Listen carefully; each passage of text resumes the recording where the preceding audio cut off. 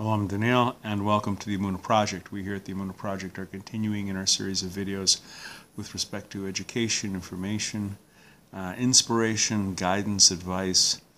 And I was thinking of the first chapter of the book of Isaiah.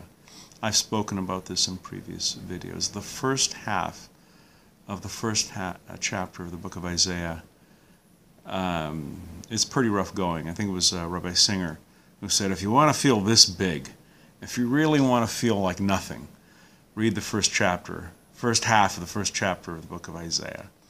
And um, there's this interesting quote there.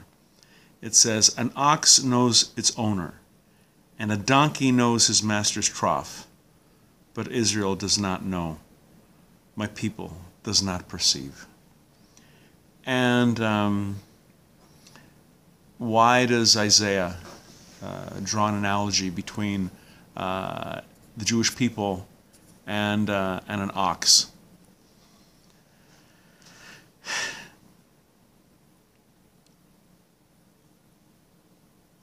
God has imbued uh, certain creatures um, with a capacity to recognize uh, their masters. I'm talking about domestic animals here donkeys, horses, um, ox, they they're able to know. They know their master's voice.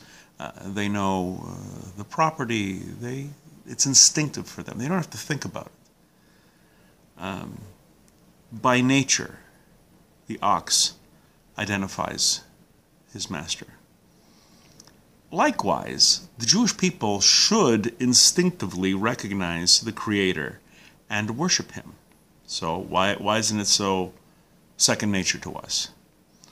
Um, Harav Eliyahu Lopian suggests that only because our sins have clouded our ability to see are we unable to do what is natural for uh, uh, what should be natural for us. And in this area, we trail behind the, uh, the average beast of burden. A person must view his relationship with the Creator as natural and direct. This consciousness, this knowledge, this awareness that the Creator is our master, that we belong to the, to the Creator, that we have a relationship with Him, that we cling to Him, that we pray to Him, that we worship Him. This is what distinguishes us from the rest of the world.